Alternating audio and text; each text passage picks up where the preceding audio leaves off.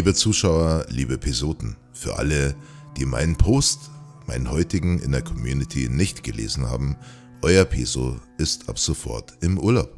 Und ich werde euch auch in meiner Abwesenheit mit Videos versorgen. Ihr werdet dabei eine ältere Serie von mir hören, die euch mitreißen wird, glaubt es mir. Ich lade die Videos so hoch, wie ich sie vor drei bis vier Jahren aufgezeichnet hatte. Wundert euch also nicht über gewisse Ansprachen in meinen Videos, die nicht mehr ganz up-to-date sind. Und bitte, meine lieben Pisoten, ich brauche eure Hilfe. Unterstützt mich bei Kommentaren, die sich über eventuelle Aussagen von mir wundern und helft mir, diesen Zuschauern zu erklären in den Kommentaren, dass ich, der Peso, im Urlaub ist und ich euch mit einer interessanten, aber alten Serie beglücke. Danke euch. Ein Thema, welches ich auf dem Weg in den Urlaub noch mitbekommen habe, möchte ich aber in meinem heutigen Video schon einmal ansprechen. Ich werde dazu, wenn ich wieder zurück bin, tiefere Recherchen betreiben. Aktuell kann ich es euch grob umreißen und euch meinen Senf dazu schon einmal mitgeben, damit ihr heute etwas zum Recherchieren und zum Lauschen habt. Immer wieder bin ich über diese oder eine ähnliche Aussage gestolpert, und zwar Menschen sind Experimente höherer außerirdischer Intelligenz, gefangen auf der Erde und Außerirdische ernten unsere Seelen. Und der Mond ist eine außerirdische Basis. Viele von euch, die sich mit solchen Themen auseinandersetzen, kommt dies sicherlich auch bekannt vor und dieses Thema gewinnt gerade wieder richtig an Schwung.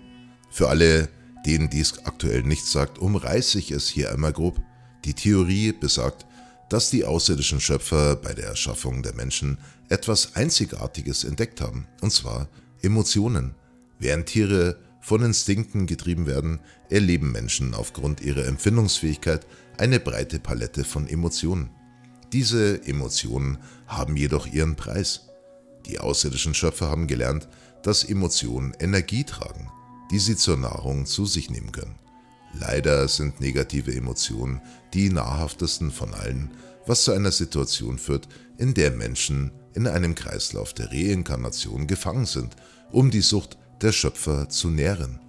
Der Prozess wird angeblich durch ein Gerät namens Soul Cube oder Soul Recycler erleichtert, also einen Seelenwürfel oder einen Seelenrecycler. Ich habe ja versucht in meinem Thumbnail das irgendwie, sag ich mal, künstlerisch euch irgendwie darzustellen und dieser Soul Cube, wenn es nur einer ist, sind wahrscheinlich mehrere, der ist auf dem Mond installiert und angeblich gibt es diese Soul Cubes auch in unseren Meeren. Dieses Gerät fängt menschliche Seelen ein und recycelt sie und zwingt sie in eine Endlosschleife der Reinkarnation. Und diese Theorie impliziert, dass die Erde ein Gefängnisplanet ist, auf dem Menschen gefangen sind, um den außerirdischen Schöpfern als Nahrungsquelle zu dienen. Eine Theorie, die ich schon wirklich sehr lange vertrete, denn so beschissen wie unsere Realität kann keine Realität sein, wenn ich mir die Shitshow so anschaue, die in unseren westlichen Ländern gerade so abläuft. Also Simulation oder wie gesagt Gefängnis bzw. Strafplanet. Der Kreislauf der Reinkarnation ist die Maschinerie, die die Menschen in diesem Gefängnis hält, wobei sich die Schöpfer von ihren negativen Emotionen ernähren – und diese Idee wird von John Lear, man kann von ihm halten, was man will, und David Icke unterstützt. Ich weiß, dass er David Icke heißt, aber ich spreche es gern so aus, wie ich möchte. Jedenfalls, und David Icke unterstützt, die meinen, dass dieser Kreislauf kein natürlicher Prozess ist, sondern vielmehr eine Falle, die die Menschen in einen Zustand der Knechtschaft halten soll. George Knapp sagte, Bob Lazar sei während der Arbeit an dem in Anführungszeichen dem Programm gesagt worden, dass Menschen von Außerirdischen als Seelenbehälter betrachtet würden. Die Diskussion geht weiter über verstörende Überzeugungen von Insidern, die sich gegen eine Offenlegung aussprechen, weil sie nicht im öffentlichen Interesse sei. Das Ganze in Anführungszeichen gelesen natürlich. Diese Wesen übermittelten Informationen über die Fähigkeit, das menschliche Gehirn zu beeinflussen, um den menschlichen Körper zu betäuben, dies geschieht ohne jeglichen physischen Kontakt von einer entfernten Quelle.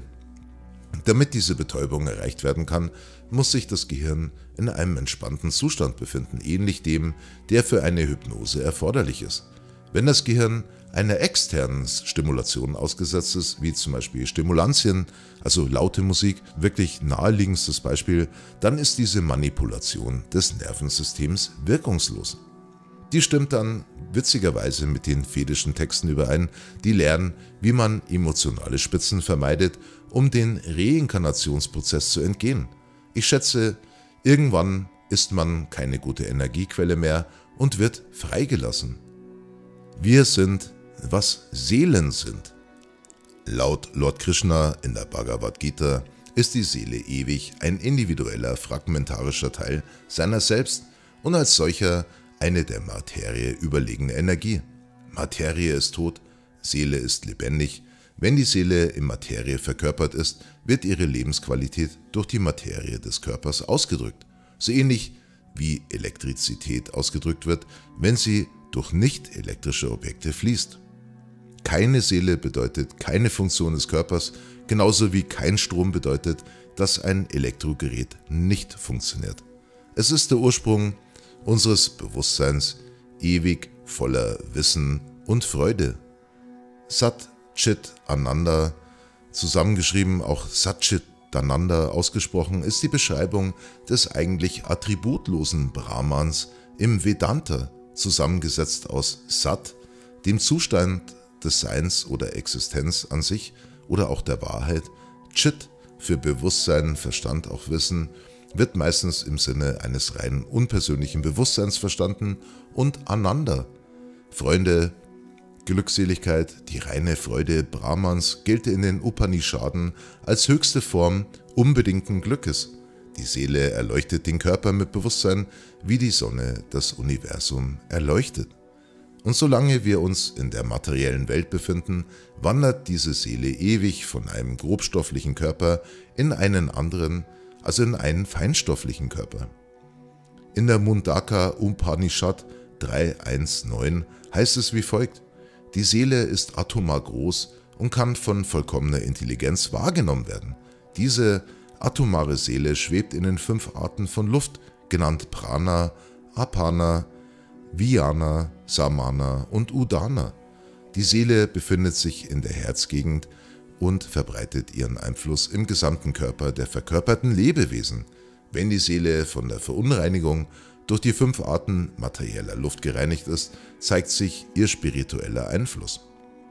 Wenn wir erkennen, dass wir eine Seele sind, die als Mensch ein menschliches Leben führt, haben wir den ersten Schritt getan, um das Leben besser zu verstehen.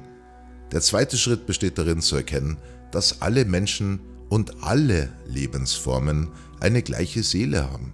Das Bewusstsein also entspricht mehr oder weniger Gedanken als bewusste Energie, die ein bewusster Teil der Seele ist. Das Bewusstsein entsteht durch Lehren, Erfahrungen und das, was aus dem Jenseits gelernt wird. Das geschaffene Bewusstsein, das passt immer zum Gefäß im Leben. Beispielsweise hat man bei einem Fisch oder einem Insekt keine menschlichen Gedanken und bei einem Menschen keine Insekten- oder Fischgedanken. Also eigentlich logisch und verständlich. Dennoch erfährt das Bewusstsein auf verschiedenen Ebenen Leben. Alle Seelen helfen, Leben auf der Erde zu erschaffen. Mit anderen Worten, es existieren viele Seelen. Die Frage ist, woher kommen diese ganzen Seelen? Sind diese Seelen individuelle Wesen oder miteinander verbunden oder haben sie einen Elternteil, also eine ursprüngliche Quelle, also eine Seele, als eine Einheit und Wesen, die wir Gott nennen? Gehen wir darauf einmal grob ein, meine lieben Zuschauer und Pisoten. Öffnet dazu euren Geist. Und das, was ich sage, das muss ja überhaupt nicht stimmen, aber dies haben schon intelligentere Menschen, also intelligenter als ich, vor tausenden von Jahren niedergeschrieben und gelehrt. Also, ich sage immer, da wo Rauch ist, ist auch ein Feuer. Also selbst wenn Geständnisse im höchsten Maße unwahrscheinlich sind, so können sie doch selber auf Skeptiker Wirkung haben, nach dem Grundsatz, dass wo Rauch ist, auch Feuer sei und dass immer etwas irgendwie hängen bleibt. Der Unterschied zwischen allen Seelen liegt natürlich in den Erfahrungen. Seelen sammeln in verschiedenen Leben und Gefäßen, in verschiedenen Dimensionen und auf verschiedenen Planeten Erfahrungen, Wissen und Weisheit. Wenn es mehrere Seelen gibt, haben sie mehr verschiedene Auswahlmöglichkeiten und auch verschiedene Arten von Erfahrungen. Genau wie Menschen interagieren Seelen miteinander durch Kommunikation, durch Erfahrungen und Kommunikation über die Erfahrung mit anderen Seelen verändern sich die Erfahrungen als Wissen und Weisheit und Seelen entwickeln sich weiter und werden somit intelligenter. Aber wie sieht dann zum Beispiel die Geburt einer solchen Seele aus? Wenn eine Seele an einem bestimmten Punkt ankommt, an dem sie ihr Bewusstsein in einen anderen Teil ausspalten möchte, um zum Beispiel zwei verschiedene und getrennte Wege zu gehen, die Seele kann sich dann ausspalten, wie eine Zelle in unserem Körper und der neuen Seele Erfahrungen damit geben oder nicht. Das Bewusstsein ist für jede Seele einzigartig und gleichzeitig bleibt die neue Seele mit der vorherigen Seele verbunden. Einfach ausgedrückt ist dies die Art und Weise, wie Seelen weitere Seelen erschaffen. Sie teilen sich immer wieder in weitere Seelen auf, wenn die Gelegenheit es erfordert, um neue, unterschiedliche, einzigartige Seelenbewusstseine zu erschaffen. Wenn man zwei dieser Seelen hat, verbindet das einzigartige Bewusstsein diese Seelen miteinander und sie können später wieder miteinander verschmelzen. Wenn eine von ihnen die Individualität aufgeben möchte, dann hat man eine Seele mit zwei unterschiedlichen Seelenerfahrungen. Zwei individuelle Seelen können zu einer individuellen Seele werden. Zwei Seelen, die miteinander verschmelzen, Erfahrungen teilen, die sie beide gemacht haben und als eine Seele existieren, also als eine Individualität mit zwei unterschiedlichen Arten von Erfahrungen. Eine Seele ist nicht mit einem Menschen vergleichbar. Eine Seele, das ist ein immaterielles, unsterbliches, bewusstes, engelhaftes, energetisches Wesen. Ob man es nun hören möchte oder nicht, ein Mensch ist eine der tierischen Formen der Natur im Leben auf der Erde oder wie ich immer sage, die Seele ist der Autofahrer und unser aktueller menschlicher Körper ist ein Auto, welches die Seele als Autofahrer fährt.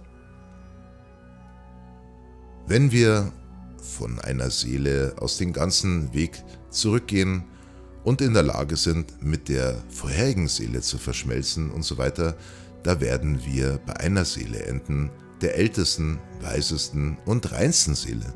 Man könnte sagen, den Vater von allem und nennen wir diese einmal hier in meinem Video Gott.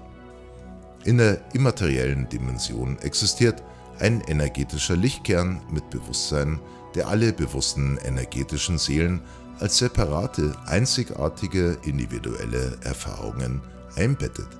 Wir nennen diesen hell leuchtenden Kern in der immateriellen Dimension das Bewusstsein von allem. Ein Teil dieser immateriellen Dimension wird Himmel genannt, wo Energie mit einer sehr hohen Frequenz vibriert.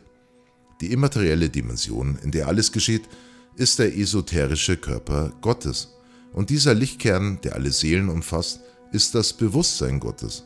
Gott ist als Seele ein individuelles Wesen und Gott ist gleichzeitig alles. Seelen sind individuelle Wesen und Seelen sind alle Teil Gottes. Besser gesagt, eine Seele ist eine einzigartige Erfahrung Gottes. Alle Seelen sind individuelle Wesen und theoretisch können sie alle als eine Einheit wieder mit Gott verschmelzen. Nur dass alle Seelen wieder mit Gott verschmelzen, ist keiner schaffen und wird in Wirklichkeit auch nicht passieren. Aus diesem Grund wurden die Menschen in der Vergangenheit als Seelen, Kinder des Lichts oder Kinder Gottes bezeichnet. Als Seelen sind wir Schöpfer, wir geben Energie eine Form und kommunizieren diese mit anderen Seelen über unsere Erfahrungen im Himmel. Die Seele ist unsterblich, sie kann nicht zerstört werden und sie hat kein Geschlecht. Es wurde durch Feuer, Erde, Wind und Wasser erschaffen und das macht die Seele unsterblich. Die Seele ist mit dem Ego und dem Verlangen verbunden, was die Seele einzigartig macht. Wenn ein Mensch sein Ego und seine Begierden töten kann, wird er zu einem heiligen Geist. Das Ergebnis ist die Befreiung, die im Hinduismus Mukti genannt wird. Kommen wir mal dann zu der Frage, ob eine Seele recycelt werden kann. Und ich sage nach allem, was ich aus dem oder zu diesem Thema gelesen und gelernt habe, also nicht zu diesem Video, sondern mich beschäftigt sowas schon Ewigkeiten. Jedenfalls, was habe ich daraus gelernt? Und ich kann dann einfach nur sagen, ähm, zu, zu mir selber, also der schon lang auf dieser blauen Murmel unterwegs ist, nein, diese Seele, die kann nicht recycelt werden. Sie verhält sich wie der Körper, den sie erhält. Das bedeutet, wenn die Seele einen tierischen Körper erhält, verhält sie sich wie ein Tier. Wenn die Seele einen menschlichen Körper erhält, verhält sie sich wie der männliche oder weibliche Körper, den sie erhält. Mein Fazit aktuell ist, die Seele ist wirklich etwas Wertvolles und Energie und es scheint mir plausibel, dies als ein zu erntendes Gut zu betrachten und eventuell steckt hinter dieser Soul Cube Geschichte tatsächlich mehr. Komischerweise ist dies auch in Filmen wie zum Beispiel der Matrix-Serie angesprochen worden, sowie sogar in einem meiner Lieblingszeichentrickfilme der Monster AG. Wie auch immer, werde ich mich nach meinem Urlaub damit weiter befassen und wenn es dazu wirklich mehr zu erzählen gibt, als was ich euch in diesem kurzen Video schon erzählt habe, werdet ihr dazu ein weiteres Video erleben. Also, macht's es gut. Schönen Urlaub für alle, die auch gerade zufällig im Urlaub sind. Ich hab euch alle lieb, passt auf euch auf und wir hören uns bei meinem nächsten Video. Also, macht's es gut. Euer Peso. Servus.